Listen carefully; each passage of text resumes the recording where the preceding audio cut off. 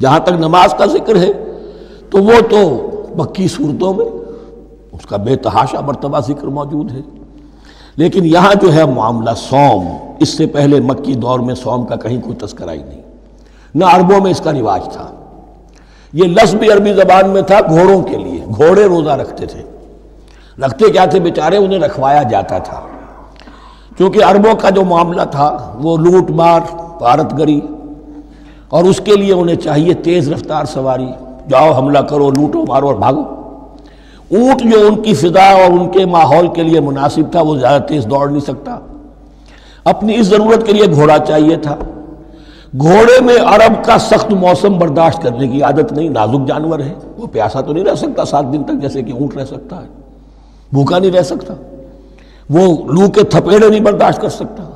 लिहाजा अरब उसको रखवाते थे रोजा।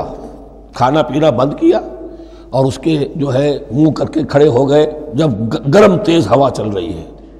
खुद तो अपने आप को लपेट लिया अपने घुतने में घुतरा कहलाता है वो जो भी कपड़ा ऊपर होता है। और वो उस घोड़े को जो है वो सारी आग उस पर बरस रही है ताकि इसमें आदत पैदा हो जाए झेलने की बर्दाश्त करने की। तो जंग के है जंग के मौके पर कहीं ये दगा ना दे जाए। अगर यही हिम्मत हार गया तो उसका तो क्या किया जाएगा? तो, तो असल में सवार है जो मारा गया। ये रोज़ा उनके हाथ था, लेकिन जब हुजूर आए मदीने में तो यहाँ यहूद में रोज़े का रिवाज था। वो एक तो आशूरा का रोज़ा रखते थे, इसलिए कि वो तारीख थी जिसमें कि निजात मिली थी बनी इसराइल को फिर से। पहले यह कि हर महीने में तीन रोज़े।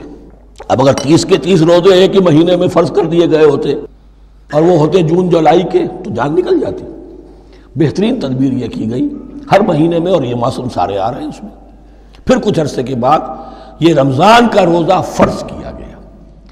पहला जो रोज़ा था तीन दिन का, उसमें यह भी थी इजाज़त के जो अगर मुसाफिर नहीं है, बीमार भी नहीं है, ताकत रखता है रोज़ा रखने की, फिर भी रोज़ा न रखे तो उसका फिदिया ये है कि एक मिस्कीन को खाना खिलाए। अलल इतलाक था ये। जब रमज़ान के रोज़े की फर्जियत हो गई तो अब ये फिदिया नहीं है। अलबत् हुजूर ने इसको बाकी रखा।